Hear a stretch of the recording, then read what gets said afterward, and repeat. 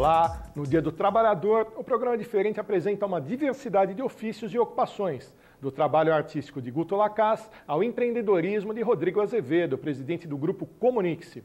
Também apresentamos o trabalho inovador da revista Asmina, que luta pelo empoderamento da mulher e contra a desigualdade de gênero. Não é isso? Fala, Carlos Fernandes. Maurício, é interessante abordar as diferentes formas de trabalho nesse Dia do Trabalhador. O mundo está mudado, mas a luta por respeito, por direitos e por dignidade é eterna e segue na pauta do dia. Homens e mulheres, trabalhadores braçais e intelectuais, operários e empreendedores. Hoje é o nosso dia. Então, só para não perder o costume, vamos trabalhar? Recebendo hoje o artista plástico Guto Lacaz, que é a referência do que é um artista multimídia. Não é isso, ah, Guto? É, eu não sou referência de nada, eu sou referência de mim mesmo. Guto, quem que é o Guto Lacaz? Quem que é?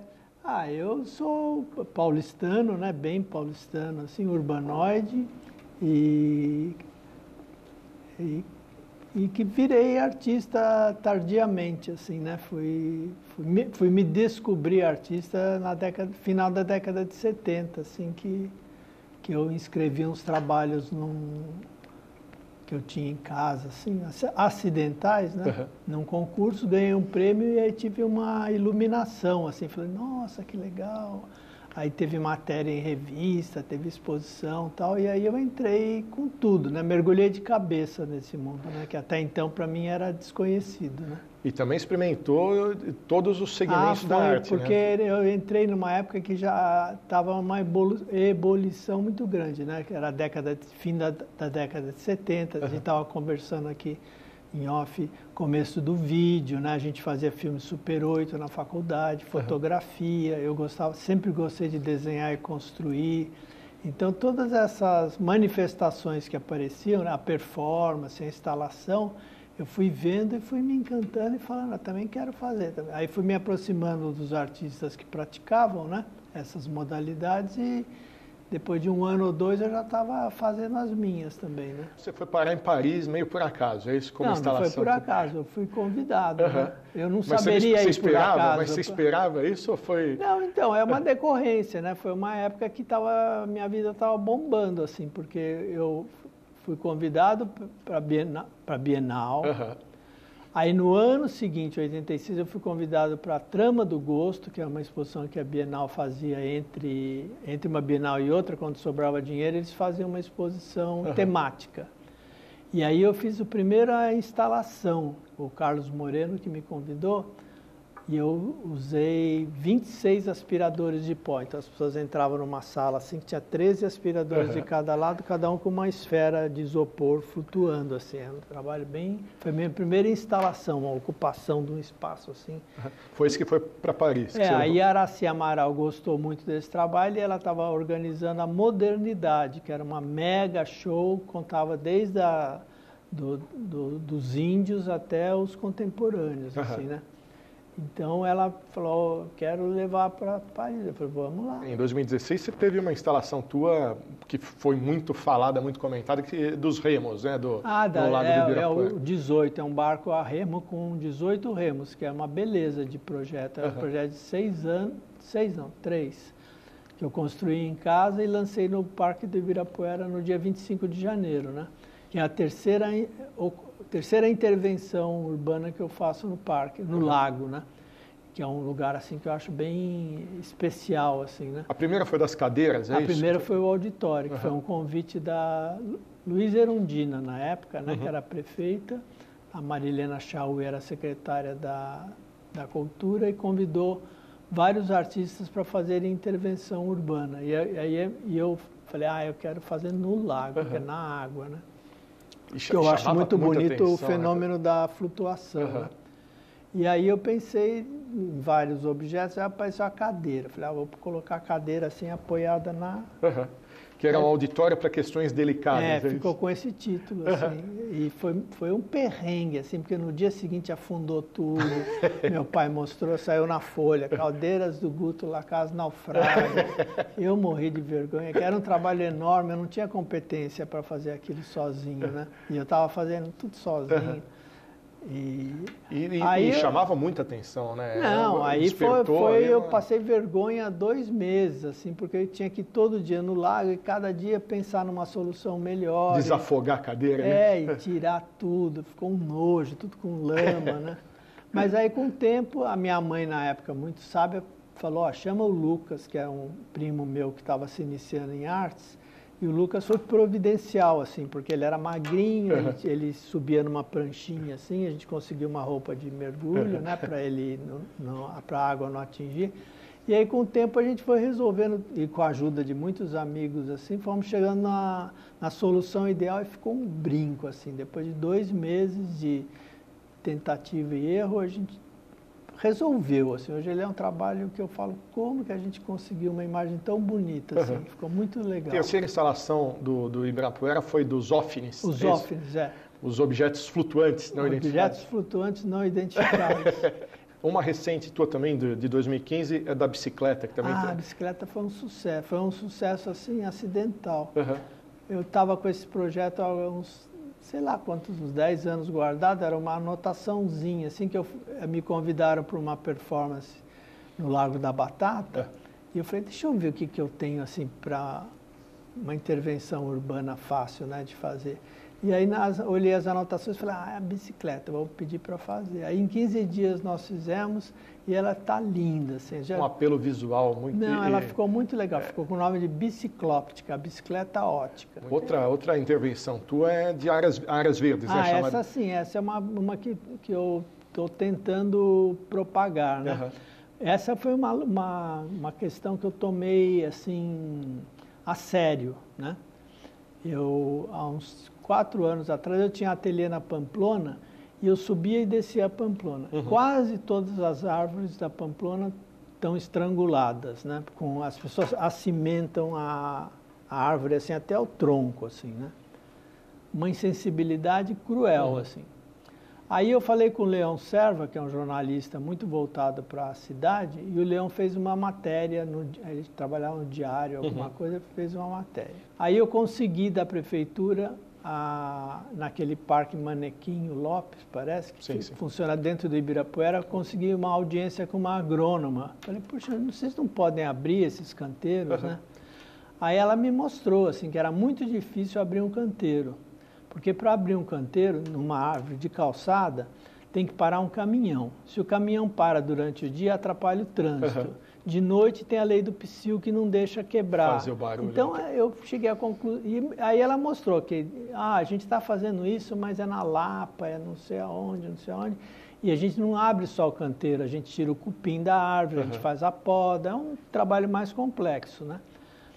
Mas eu vi isso, que para fazer um, abrir um canteiro é mais fácil construir um viaduto do que abrir um canteiro. Fazer um né? quadradinho de terra é, no é. chão, é isso? Aí eu saí de lá assim com a cabeça baixa, né? Falei, puta, não, adianta, não adiantou nada meu, a minha tentativa né, de, de dessufocar as árvores. Aí um dia me deu esse insight, assim, de falar, ah, então eu vou fazer uma intervenção urbana que é pintar, uhum. né? Comprei uma tinta verde boa para pintar piso, assim, e fui com o Edson Kumazaka, que é o meu fotógrafo, uhum e nós pintamos duas árvores numa mesma calçada, é. numa mesma residência tinham duas árvores estranguladas assim, né? E aí eu ponho no Facebook, ponho no meu Parece site. Parece brincadeira pra... que você é, é, acaba sendo uma intervenção artística de fato, porque é um quadrado verde em volta de uma é, árvore uma, plantada no concreto. É, é um, né? é um, é absurdo, para chamar né? atenção, falar, olha, ah", mas claro, não acontece nada, né? As pessoas às vezes também não têm leitura e, e e passou batido. Acho que você foi o que mais, o artista que mais popularizou a, a arte e mais, é, é, você, você, criou um personagem. O Guto Lacaz virou um é, personagem. É, é, aquilo foi incrível mesmo. Foi nessa Começou época, quando? Anos então, 80? Foi na época da Bienal. Uhum. Porque quando eu era Bienal foi 85. O Sérgio Groisman tinha um programa na TV, na Rádio Cultura, que eu assistia diariamente, que era o Matéria-Prima. Uhum. E, e, ele me convidou, me lembro que fui eu e a Leda Catunda. Nós fomos falar sobre o nosso trabalho na Bienal. E eu me dei muito bem com o Sérgio Grossman e vi que o Sérgio Grossman era um, um agitador cultural da época do Equipe. Uhum. que embora eu Que fazia estudasse em São José dos né, Campos, a gente ia muito Titãs, equipe né? que é, eu, eu, eu, eu vi o Gilberto Gil assim, frente a frente, Clementina de Jesus, né? Era um reduto, uma resistência né, cultural que tinha em São Paulo. E eu falei, pô, Serginho, você que é aquele cara lá, que legal, eu sempre admirei. E aí o Sérgio Grossman, alguns anos depois, foi convidado para apresentar um programa na TV Gazeta, que estava repaginando a programação, né? Era TV a Mix, série né? dos TV Mix, né? Aham, Que é aham. desde manhã até de noite, direto numa redação, assim, não tinha estúdio, não tinha Sim, nada. sim. Era uma coisa super precária, mas muito energética, né? E muita gente começando lá junto. Foi, foi uma geração, né? Astrid, Fontenelle, né? O Tadeu Django, a, a, a Mônica Montoro, Fernando Meirelles. Fernando Meirelles, né? A, a Grace Janoucas, o Marcelo Menso, era uma, cada dia tinha uma barbaridade. né? Aham. E aí Os o Sérgio- Abelhas, né? Os abelhas, né? Que eram uns caras com a câmera Aquela câmera de VHS, né? pesadona É, no ombro, é. né? que era a coisa mais moderna. moderna que tinha, mais, mais ágil, né, que tinha. E aí o Sérgio Grossman me convidou, falou, olha, cada dia da semana vai uma pessoa falar de um assunto. O, o, o Bob Wolfson vai falar de fotografia, o Paulo Lima de esportes, o Leon Kakoff de, de cinema, e você vai falar de artes plásticas. Aí eu falei, ah, legal, né? Legal. Mas aí eu comecei fazendo uma coisa meio a Mauri Júnior, Aham. assim, que deu tudo errado, né? Que era entrevistar artista, assim, né? E não deu nada certo. Falei, isso aí vai ficar ridículo, né? Aí eu falei, não, eu vou começar a mostrar meu trabalho. Aham. Aí eu levava trabalhos e, e aí eu tinha que entreter, né, os, os telespectadores. Guto, é, era meio professor Pardal, é isso? É, eles falam isso, assim, mas eu acho que era além, né? Era um personagem. Na verdade, era eu mesmo. Aham. É, mas como eu ia de terno e gravata, assim, tinha uma formalidade, né? E eu falava sério, eu falava sério, falava absurdos seriamente, né? É, e não tinha plateia, Aham. aquilo ficou uma coisa enigmática, assim, tinha gente que não sabia se era sério ou Aham. se era... Eu tenho um pai de um amigo meu que ele falou, falava assim, aquele seu amigo é imbecil, né? Porque o cara falava, não é possível que esse cara está falando sério isso, né? E eu estava sério, mas a- o que eu estava dizendo era, era uma imbecilidade, né?